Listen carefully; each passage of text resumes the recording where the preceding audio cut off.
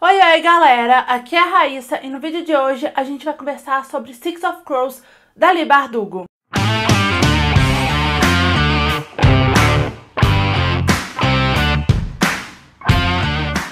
Six of Crows é uma publicação de 2016 da editora Gutenberg e tem tradução do Eric Novello. Como os direitos da Libardugo aqui no Brasil mudaram de editora e a editora nova dela por aqui, que é a Planeta Minotauro, tá republicando a trilogia Grisha, eu acredito que logo logo a gente vai ter também uma republicação da duologia Six of Crows e Crooked Kingdom aqui no Brasil. Six of Crows é o primeiro volume de uma duologia que se passa após a trilogia Grisha, mas podem ficar tranquilos que essa resenha não vai conter spoilers para quem não leu a trilogia.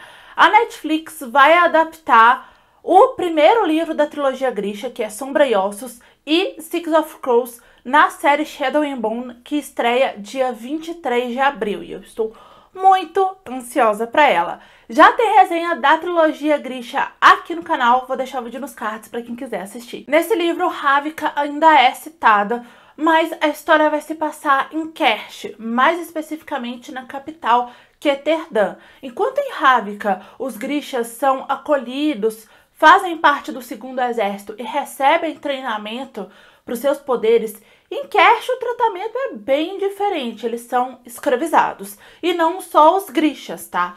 Tecnicamente, escravidão é algo ilegal, mas na prática as pessoas são sequestradas, vendidas e escravizadas. Na trilogia Grisha, a autora vai mencionar ali meio que por alto como que cada um dos reinos desse universo que ela criou trata os Grishas. Então, é, em um reino, os Grishas são escravizados, em outros, eles são considerados uma abominação e são caçados como bruxas, em outro, eles são considerados divindades, santos.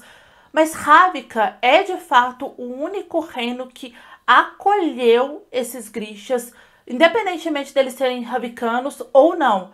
Mas é em Six of Crows que a gente consegue ter de fato a real dimensão dessas coisas que ela cita na trilogia Grisha. Antes de ler Six of Crows, e eu acho que pelo livro fazer parte desse universo Grisha, eu achava que todos os protagonistas dessa duologia eram Grishas. Mas não é esse o caso, tá? Na verdade, eles são uma gangue de ladrões. Quem assistiu a minha resenha da trilogia Grisha deve lembrar que lá eu falo que o meu personagem favorito da trilogia é o vilão, porque eu acho ele o personagem mais bem construído. Pois é, Ali Bardugo fez de novo.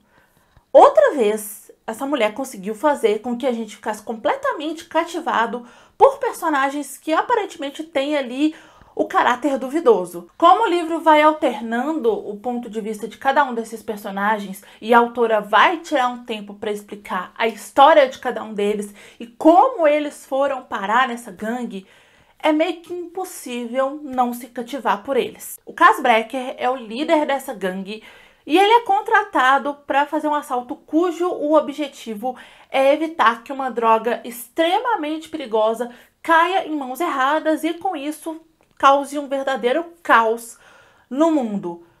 Como esse é um dos roubos mais impossíveis da história, só dois desfechos são possíveis: ficar rico ou morrer. Estão nessa missão com ele a Inege, uma espiã conhecida como Espectro, a Nina, uma grixa sangradora, o Jasper, um atirador, o Willan, um perito em explosivos, e o Matias, um ex-prisioneiro que quer se vingar do amor de sua vida. Eles são muito diferentes, mas ao mesmo tempo eles têm sim algumas semelhanças, principalmente o que levou eles a virarem ladrões, a estarem onde eles estão no começo da história.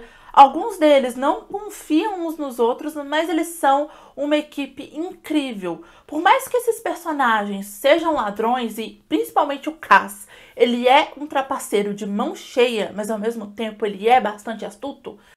Eu não consegui condenar as atitudes desses personagens ao longo da história. Porque o mundo em que eles vivem é um mundo completamente hostil, é meio que sem regras sabe? Então, eles terem virado ladrões não foi uma escolha, foi uma consequência. E muitas das atitudes que eles tomaram ao longo da vida também foi uma consequência de coisas que eles passaram. Tem outros personagens na história que fazem coisas muito piores por escolha. E essas pessoas poderiam ter escolhido coisas diferentes e não escolhem. Então, assim, a gente não consegue condenar esses personagens. E mais uma vez, a Libarduco tá fazendo a gente se apaixonar por vilão, ladrão, enfim. Inege, tudo para mim.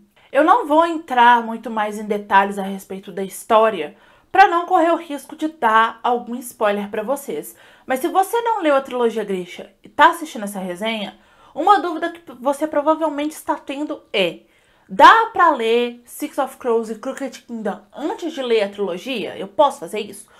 Poder, você até pode, né? Afinal de contas, é você que tá lendo, o tempo é seu. Se você quiser ler o livro de cabeça para baixo, você pode ler. Enfim, você pode fazer o que você quiser.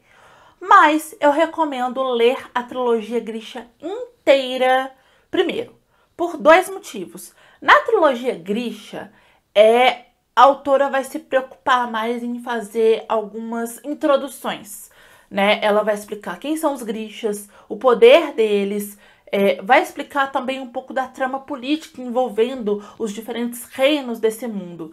E o outro motivo é que, por se passar depois, né, por Six of Crows passar depois da trilogia Grisha, a autora vai soltar alguns pequenos spoilers de como tá a Ravika depois dos acontecimentos da trilogia Grisha e a história de alguns personagens, principalmente da Inej e da Nina, estão relacionadas a desdobramentos do final da trilogia Grisha. O universo Grisha é algo muito interessante. Eu acho que a Libardugo conseguiu fazer um trabalho é, muito cuidadoso na criação desse mundo e me arrisco a dizer que o universo Grisha é um dos mundos de fantasia mais únicos que a gente tem atualmente, principalmente na época que a trilogia foi lançada, porque depois surgiram outras coisas inspiradas. Mas realmente é algo muito interessante. Essa mulher conseguiu falar de política, religião, é, conseguiu misturar um pouco da cultura russa, trazer um pouco da cultura russa pra trilogia, se inspirou em outras coisas também. É, gente, é muito interessante. É um universo que eu gosto muito. Mas quem assistiu a minha resenha da trilogia viu que eu, tanto na primeira vez que eu li como na releitura, eu encontrei alguns problemas na trilogia Grisha. Eu acho que como a trilogia é, a gente vai acompanhar a história pelo ponto de vista da Alina, né? A gente vê o que ela vê, a gente vai é, conhecer as pessoas pelos olhos dela. E por vezes ela é uma menina ingênua, um pouco deslumbrada e até meio chatinha isso acaba ficando um pouco cansativo. Para mim, isso não foi tão é, legal de ver em alguns momentos, sabe? Não, não, a história não performou muito bem para mim nesse sentido. Eu acho que tem outros personagens, inclusive na trilogia Grisha, que são muito mais interessantes do que a Alina. Na resenha eu falo isso. Já em Six of Crows, ela criou personagens mais interessantes com muito mais camadas do que a Alina.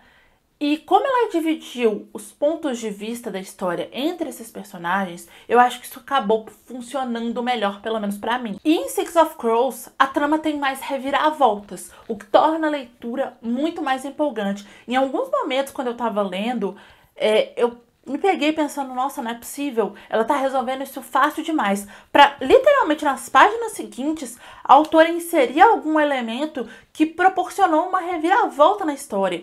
Então, isso é desesperador em alguns momentos? É, mas eu gosto muito de livros assim.